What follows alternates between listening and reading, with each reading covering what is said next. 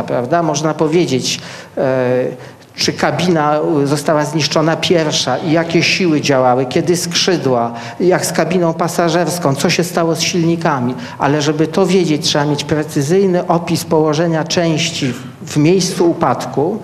Amerykanie robią to za pomocą GPS-u, tam każda część jest opisana bardzo precyzyjnie, jej położenie na miejscu upadku samolotu i potem przy ułożeniu ich w planie w obrysie kadłuba.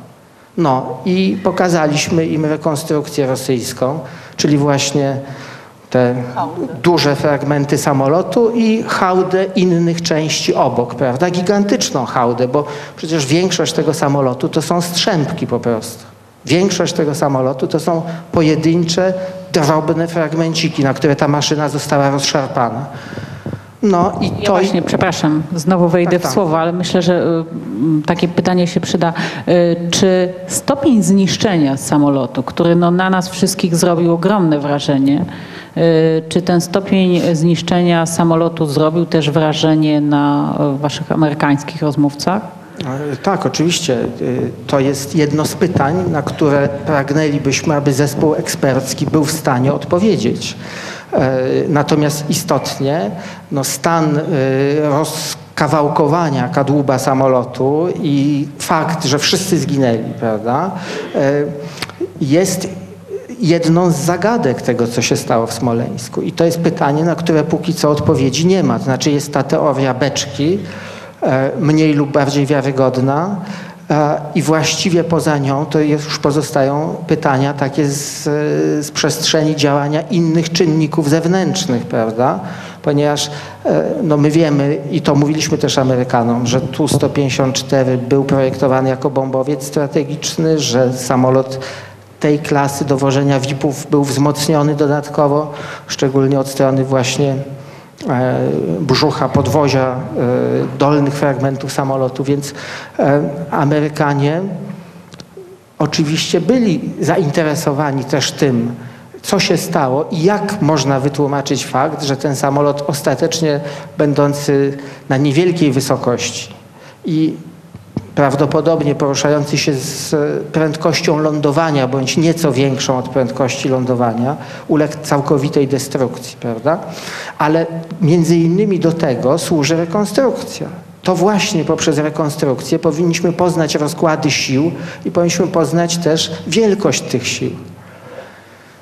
Jako żywo e, przy tak ustawionym śledztwie i przy takich działaniach, jakie podjęli Rosjanie w Smoleńsku e, i tu, byli, i tu Amerykanie byli absolutnie z nami zgodni, e, wiedza o tym jest praktycznie w tej chwili już nieosiągalna. To znaczy ona jest możliwa, gdybyśmy błyskawicznie odzyskali wrak i spróbowali w Polsce taką rekonstrukcję przeprowadzić. Mam nadzieję, że argumenty, które żeśmy przedstawili stronie amerykańskiej, mm, argumenty nie tylko polityczne, ale i właśnie merytoryczne, argumenty natury technicznej przy spotkaniach z ekspertami technicznymi, bo takie też były, E, e, ze strony amerykańskiej, że one pozwolą ostatecznie na silne poparcie dla powołania międzynarodowego ciała do badania e, katastrofy smoleńskiej. Ponieważ co do jednego możemy być pewni, że, że strona amerykańska podziela nasze przekonanie, że w ten sposób prowadzone śledztwo do prawdy nas na pewno nie przybliży. Może jeśli można, pani redaktor, jeszcze dwa słowa. E, podczas wszystkich rozmów e, informowaliśmy zarówno polityków, jak i ekspertów zajmujących się polityką międzynarodową o propozycji prezydenta Miedwiediewa, która padła pierwszego już dnia e, o powołaniu wspólnego zespołu prokuratorów, który mógłby poprowadzić śledztwo w tej sprawie. E, i o tym, że taka propozycja nie została przyjęta. Również o tym, że strona polska, przez to, że polska komisja nie jest komisją odpowiadającą poziomowi protokolarnemu komisji rosyjskiej, pogarsza możliwość e, wyjaśnienia sprawy, bo jak Państwo wiecie, po stronie rosyjskiej na czele komisji stoi e, premier Władimir Putin podczas kiedy po stronie polskiej kierownictwo takiej komisji przyjął pan minister e, Jerzy Miller, premier Donald Tusk, nie zdecydował się e, zostać w tej sprawie partnerem e, premiera Putina, co w języku dyplomacji oznacza, że siła tej polskiej komisji jest znacznie mniejsza w rozmowach z partnerem. Wiadomo, że, że e, to jest jeden ze sposobów, który powoduje, mm, że, że strona polska pełni w tym postępowaniu, w tych relacjach e, rolę podrzędną. Siłą rzeczy, nie bez kozery wiemy, jak często y, informują media o tym, że na sygnał strony rosyjskiej minister Miller właśnie się pakuje i natychmiast wsiada w samolot, ponieważ ma dostać kolejne dowody. Tym razem już absolutnie rzetelne, a potem w ciemno podpisuje, że one naprawdę są zgodne ze stanem faktycznym.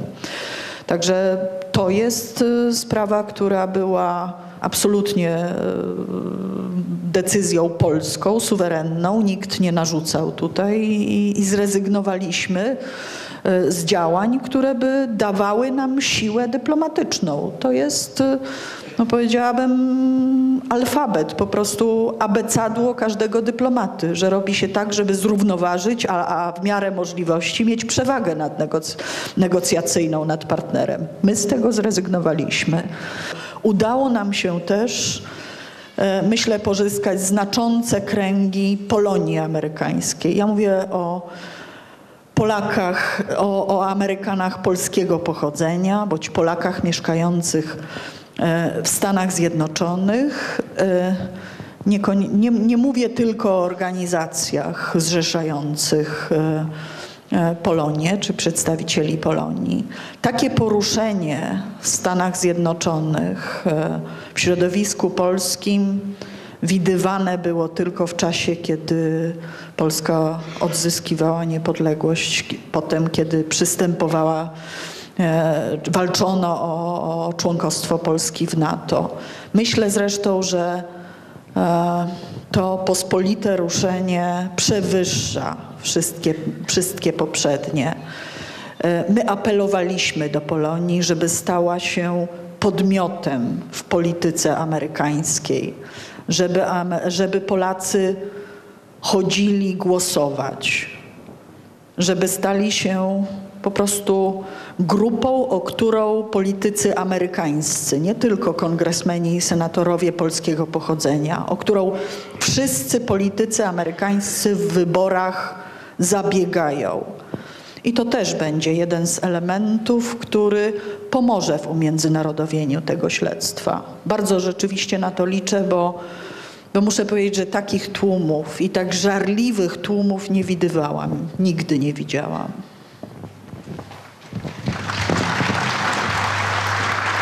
Jest z nami pan minister Antoni Macierewicz. Czekaliśmy długo. Bardzo się cieszymy, że pan do nas dotarł.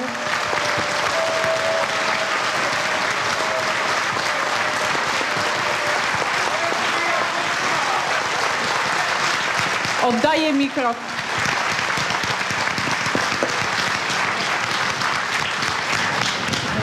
Dobry wieczór Państwu.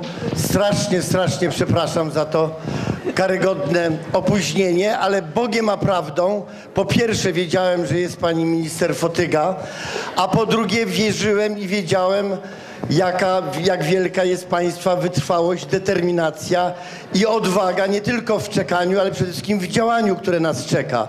Dlatego też nie miałem wątpliwości, że państwo będziecie tutaj, że będziemy mogli dalej rozmawiać, że będziemy mogli dalej dyskutować i że będę mógł złożyć uzupełnienie skromne do tego sprawozdania, jakie pani minister i pan Rafał Dzięciołowski już z pewnością państwu przedłożyli. Dlatego też mnie zostaną tylko skromne, drobne uzupełnienia. A powiem najpierw tak, że ta podróż dla mnie była naprawdę wielkim przeżyciem, zarówno w wymiarze politycznym, jak i osobistym. Przede wszystkim była to najlepiej przygotowana misja polityczno-dyplomatyczna na przestrzeni bardzo, bardzo wielu lat. Najlepiej przygotowana z punktu widzenia wyboru czasu, a także z punktu y, widzenia doboru osób, myślę tutaj przede wszystkim o pani minister Fotydze, myślę o niestety, jak rozumiem, nieobecnym panie, panu Pawle Kurtyce, s- y, który y, reprezentował rodziny smoleńskie i myślę oczywiście o panu Rafale Dzięciołowskim. To był rzeczywiście skład, który w sposób nieprawdopodobnie kompetentny, dobitny i niepodlegający żadnemu zakwestionowaniu przedstawił naszym rozmówcom rzeczywistą sytuację związaną z tragedią smoleńską. A trzeba powiedzieć, że chociaż a ja byłem już dwukrotnie wcześniej w Stanach Zjednoczonych i w Waszyngtonie, to ciągle przeciwdziałanie propagandy i dezinformacji mającej na celu przedstawić fałszywy obraz tego, co naprawdę się dzieje, odgrywa i odgrywał swoją rolę. I te świadectwa, jakie przedstawił pan Dzięciołowski e, e, swoją osobą po prostu, opowiadając, co tam zastał dwa, trzy tygodnie po katastrofie. E, świadectwa, które przedłożył pan, pan Paweł Kurtyka. Cała panorama polityczna i przygotowanie dyplomatyczne, które zostało zrobione przez panią minister Fotyga, przede wszystkim przez artykuły pana prezesa Kaczyńskiego. Te same artykuły, które tutaj były przedmiotem tak nieprawdopodobnych ataków.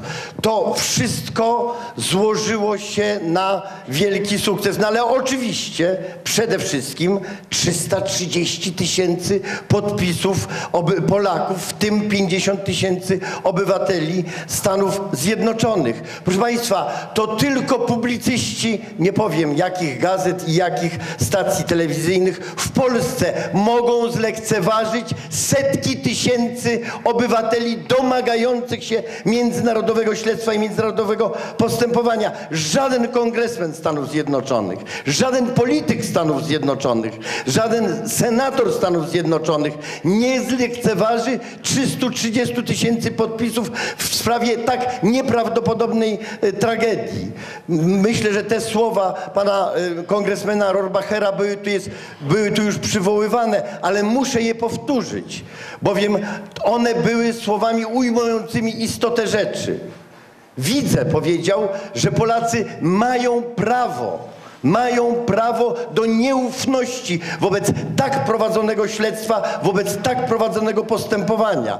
Polska zasługuje na prawdę o tragedii smoleńskiej i Rosja musi to przyjąć. Sam się zaangażuję w to postępowanie i sam będę działał na rzecz powołania tej komisji, powiedział senator, y, kongresmen Rohrbacher. A to był ton, któremu, który był codziennie w każdym, na każdym naszym spotkaniu y, przez innych naszych y, rozmówców ze Stanów Zjednoczonych. Dlaczego? Bo świadectwo było dobitne, bo potwierdzone było ono przez setki tysięcy y, Polaków, którzy domagają się tej komisji. No a także dlatego, a także dlatego, że w tym samym momencie, gdy my przyjechaliśmy, nie trzeba było lepszego dowodu, jak, jak nota y, Polskiej Agencji Prasowej stwierdzająca, że prokuratura polska zaakceptowała stanowisko prokuratury rosyjskiej, mówiącej o tym, że trzeba zmienić y, zeznania złożone 7 miesięcy temu. No to jak senatorowie i kongresmeni Stanów Zjednoczonych zobaczyli, że po 7 miesiącach zmienia się zeznania, bo są niewygodne, bo teraz są złożone lepsze, to naprawdę żadnego więcej dowodu, nawet gdybyśmy y, mówili bardzo długo i bardzo dobitnie, by nie trzeba było. Jak Państwo wiecie, e, ta sytuacja jest już, y, tak powiem, daleko jest dalece bardziej rozwinięta, jesteśmy już da, dalece do przodu z tymi y, z dążeniami do umiędzynarodowienia sprawy smoleńskiej.